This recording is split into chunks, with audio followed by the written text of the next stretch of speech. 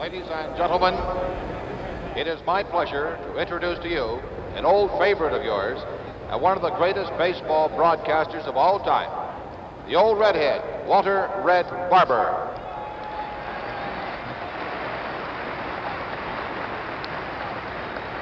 Friends, welcome to the second game of the 1972 World Series. This year marks the 25th anniversary of the entry of the black athlete into Major League Baseball. Today we are about to honor the man Branch Rickey selected to lead the way, who set a brilliant example for all to follow. He is Hall of Famer Jackie Robinson.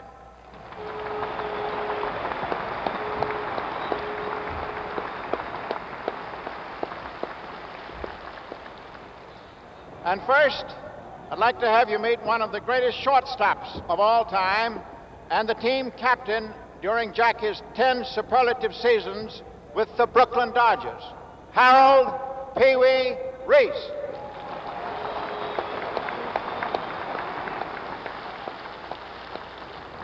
And here is the first black man to play in the American League. He had an outstanding career mostly with the Cleveland Indians, beginning in the summer of 1947. Larry Doby.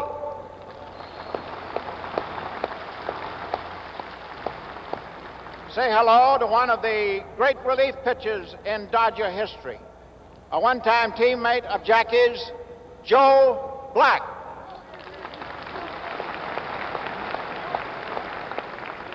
And now the president of the Dodgers, Peter O'Malley. Also here to help honor Jackie, the president of the National League, Charles Chub Feeney. The very lovely lady standing alongside Jackie is his wife, Rachel.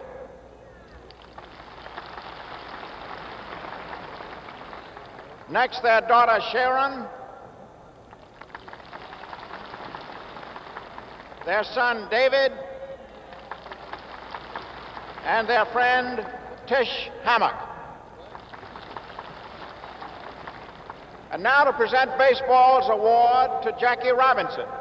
Here is the Commissioner of Baseball, Mr. Bowie Kuhn.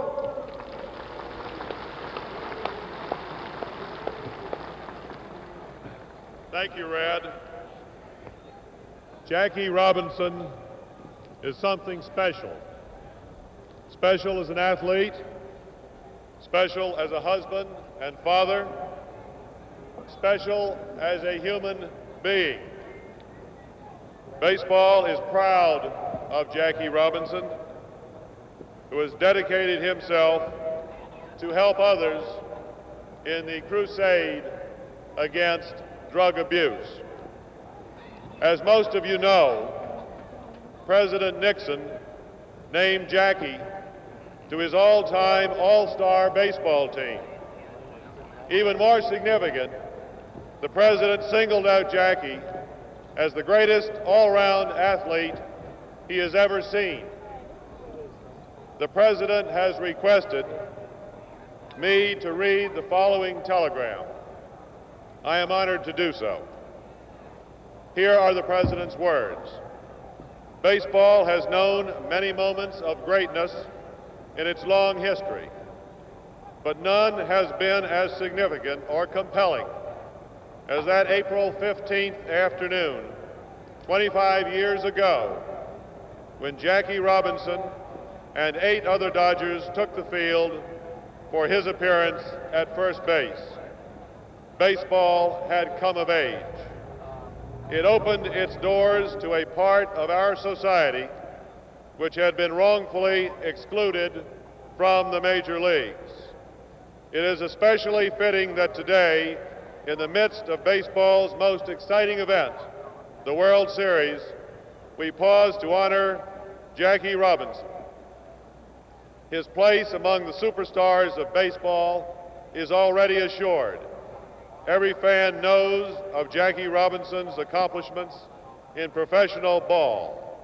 What is less well known, but also of great importance, is his work with the youth of America, especially in the field of drug abuse.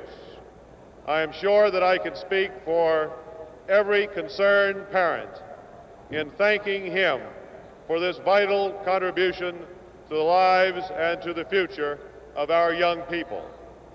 It is through such dedication and determination today, just as it was a quarter of a century ago, that lives are enriched and strengthened and our country made a better place for all. Signed, Richard Nixon.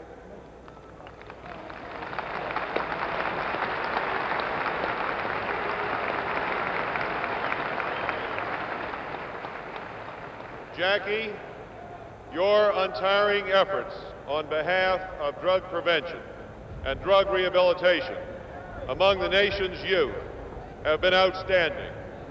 In memory of your son, Jackie Robinson Jr., you have dedicated yourself to helping young people, particularly at Daytop, a drug rehabilitation center in Connecticut, where Jackie Jr.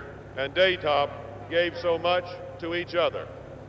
I am pleased to have this opportunity to present to you this symbolic baseball honor.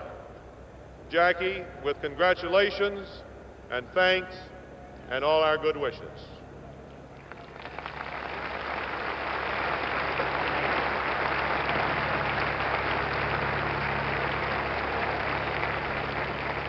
Thank you. Thank you very much, Commissioner. I would just like to say that I was really just a spoke in the wheel of the success that we had some 25 years ago, and personally want to say thank you to a great captain, a guy who was the leader of our ball club and who really set the pace in many, many areas. Pee Wee, thanks so much for being here today. I would like to also say that I would be a real, real pleasure if Mr. Rickey could have been here with us today, but to the members of the family, my entire love and gratitude for the things that he's done over the years. And I also want to say how pleased I am that my family can be here this afternoon and to thank baseball for the tremendous uh, opportunities that it has presented to me and also for this thrilling afternoon.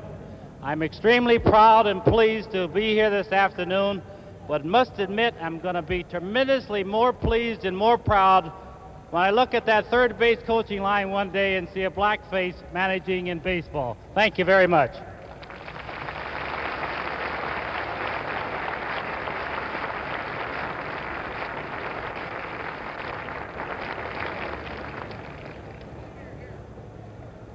Ladies and gentlemen, now presenting the champions of the American League, or the land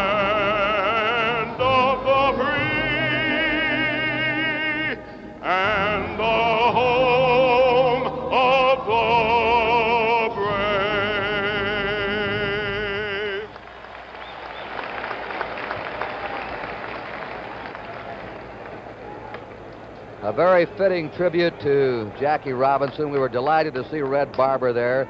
He broadcast here in Cincinnati for five years, 34 through 39. Broadcast the first night game in the history of the major leagues.